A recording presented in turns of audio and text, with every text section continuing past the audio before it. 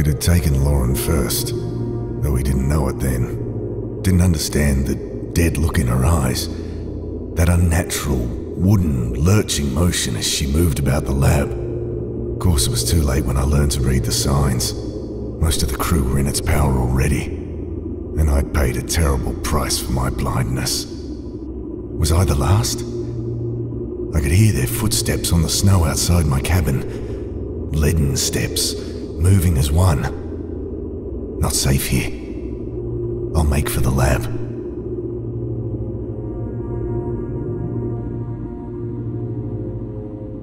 Ah. Ah.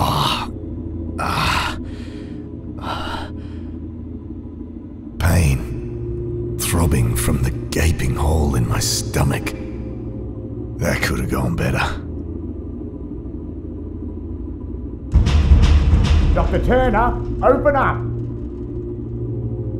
My eyes swimming. I almost black out again. Come on, Jim. There's nothing to worry about.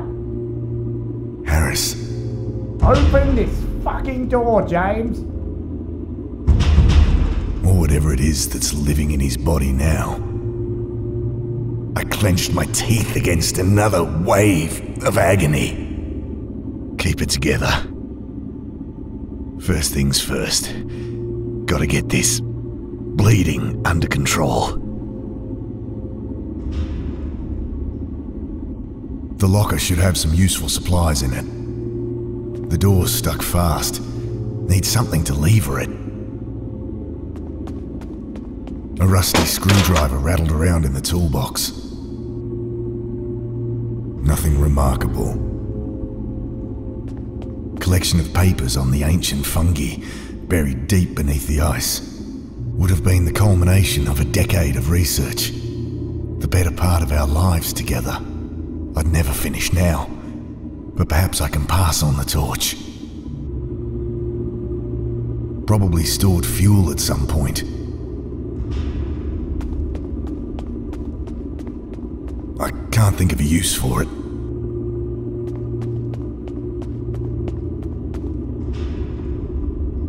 Thing had just kept coming. Finally went down after I emptied my last five rounds into it. But not before it had got me in the guts. Okay, Wilkins, what you got for me? Kneeling down over the body, I noticed the telltale, inhuman signs on his face. He was also wearing one of those armbands I'd noticed on the others. Oh, God, the stench coming off him. Almost losing consciousness again, but desperate. I persist. I find the key in his jeans pocket.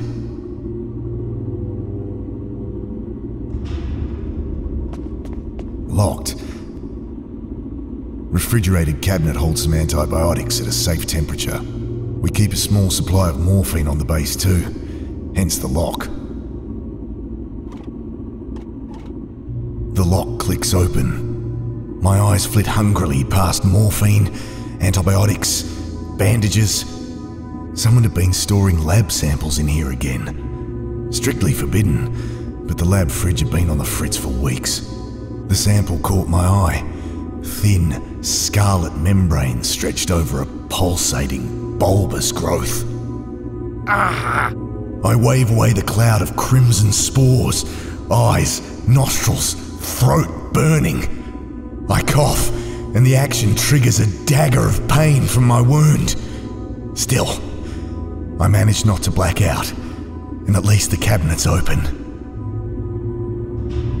Morphine would only slow my mind, so clenching my teeth to suppress screams of agony, I injected some penicillin around the wound before bandaging it up.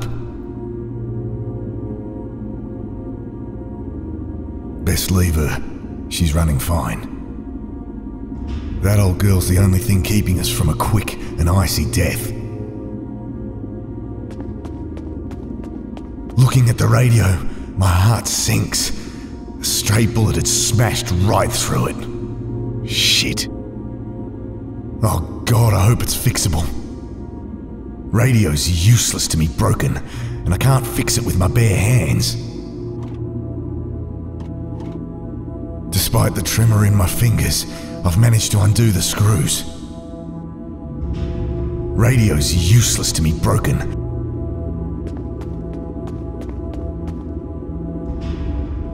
Found some mean looking wire cutters.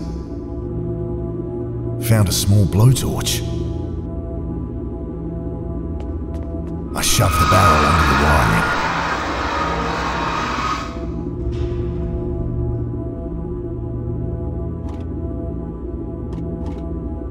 Reaching up to cut the wire, I feel something brush against my mind. Vast and terrible. That mere fleeting whisper of contact. A freight train roaring through my consciousness. I was drowning. From deep beneath my mind, I could feel that force animating my limbs like a monstrous puppeteer. Lungs burning, I struggled to the surface.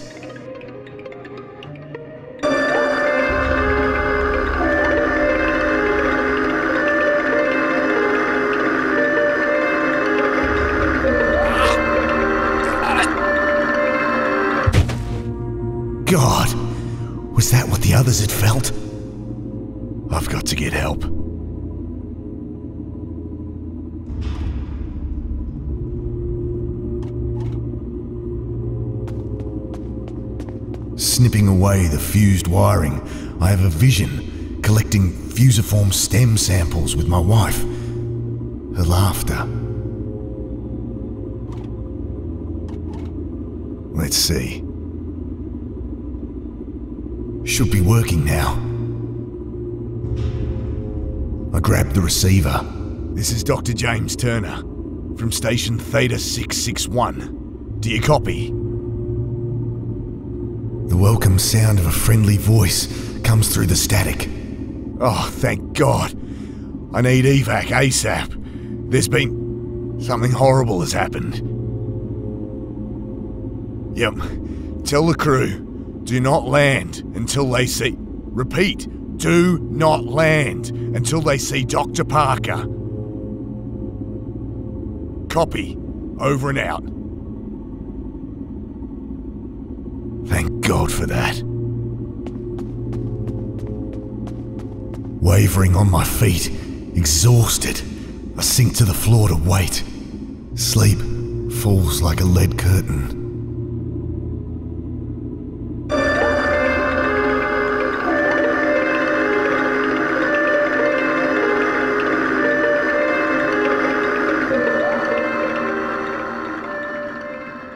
I snap awake. Something very wrong. The cold, my mind, my body stiff and numb. The pain like hot lead being poured over my hands, my feet, my face.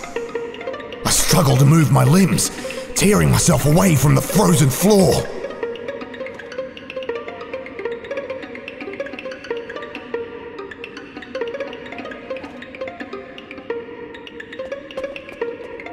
There's fuel in her, but she's a tricky thing to get started. Need to find some kindling and something to light it with. And quickly.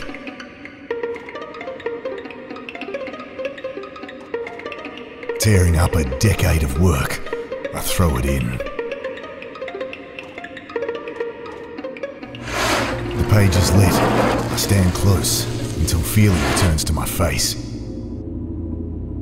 I'll lose some fingers, but I'm alive. For now. Is that the evac chopper?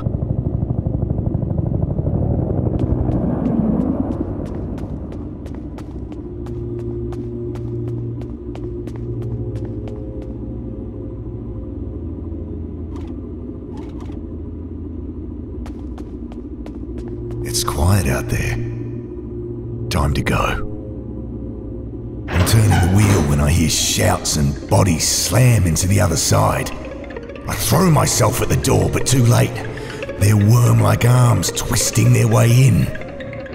Oh god, don't know how long I can hold it.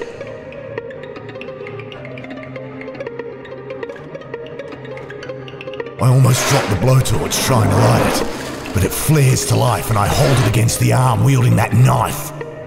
I almost drop it again, as the smell of burning hair and pork crackling fills my nostrils. Screams from outside, and the knife clatters on the floor. I make a lunge for the knife. Wielding the cruel hunk of steel, I shut my eyes and start hacking. The muffled screams from behind the door, the sticky warmth splashing on my arms. Finally, I feel the door slam close behind my back. It had worn the same armband. They all did once they turned. The thing lay there like a pale worm. Another one of those fucking armbands.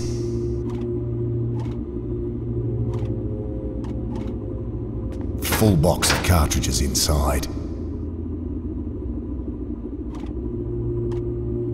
It's loaded, and I'm ready as I'll ever be. Weapon shaking in my hand, I swung the heavy door open. He's coming out. Jim, put it down. Look, Ben's here. No, Dad, it's me. I'm coming in. no, Mum called before. She.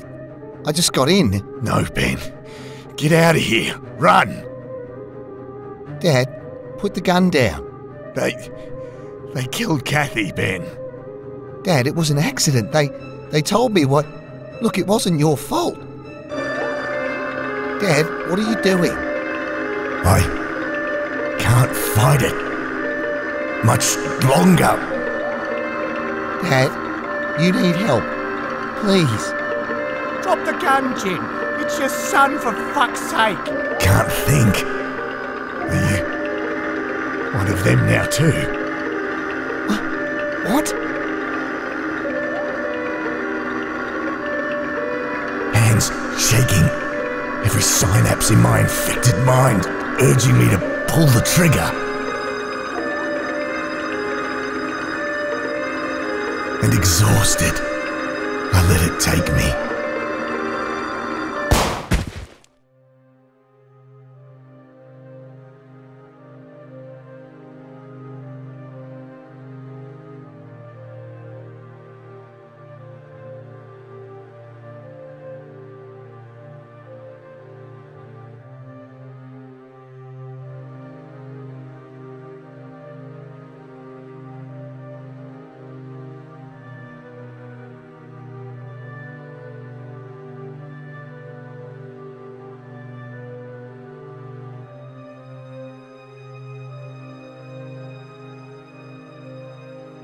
Take him for processing.